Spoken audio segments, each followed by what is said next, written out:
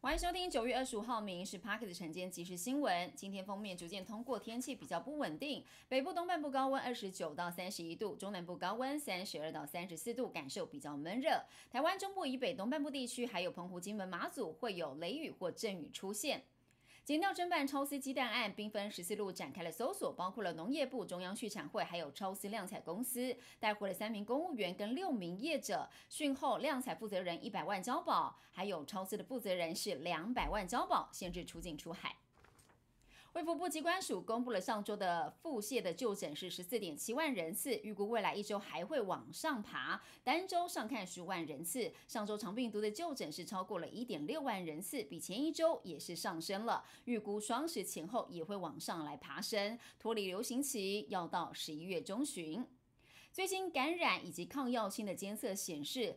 抗生素遭到了滥用，而卫福部跟农业部将会执行五年期的国家级的防疫以及抗生素抗药性管理行动计划，希望抗生素的用量可以减少百分之五，而超级细菌包氏不动杆菌的感染降一成。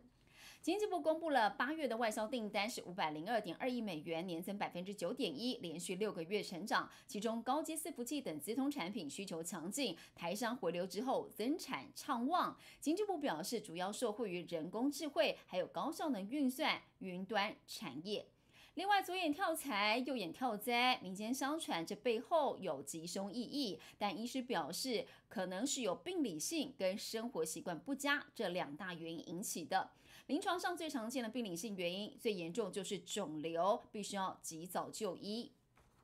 垦丁梅花鹿富裕有成，但最近盗猎者横行。民众目击在垦丁国小分校有梅花鹿被割掉了鹿茸，弃置在路边的草丛。盗猎者越来越肆无忌惮，连住宅区周边都敢猎捕。还有人听到了射杀梅花鹿的枪声。附近民宿甚至因为梅花鹿散发的尸臭味，只能够暂时歇业。